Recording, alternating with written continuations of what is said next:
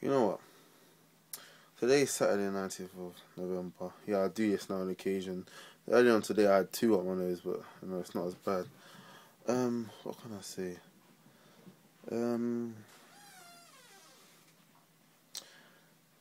I'm telling you, when you don't eat healthy, you just don't feel good. I mean, since I haven't had a cold in ages since eating healthy, but I mean, this week I haven't eating that healthy, and I'm telling you, I don't feel good at all. Okay, yeah, I did some crazy hours at work, but I just don't feel good. All the stuff I was eating. Um, I mean, eating healthy, even if you whether you don't like it or not, you feel so energetic, so live. You know, you feel like you can do stuff. That's another thing. You, as I said, you need to do. You need to concentrate on your diet. I'm telling you, if your diet is like this, you could concentrate, man.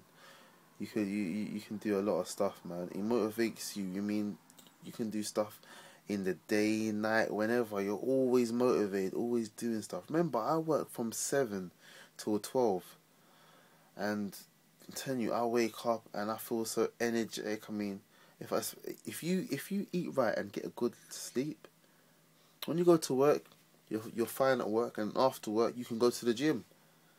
Now this week, yeah, I haven't really been eating that healthy, and I mean, yeah, I've tried to train and that, um, and I have been training, but that's because I'm I'm I'm quite fit anyway. But if you're trying to get fit, get your sleep and eat right.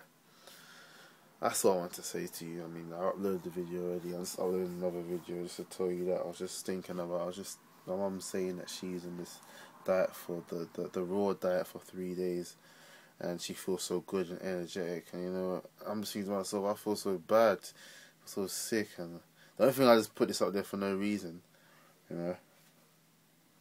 Trust me. Yeah. Um, I've got booger on there, but I'm telling you, eat right. but um, yeah, I'll upload another video on Sunday. See ya.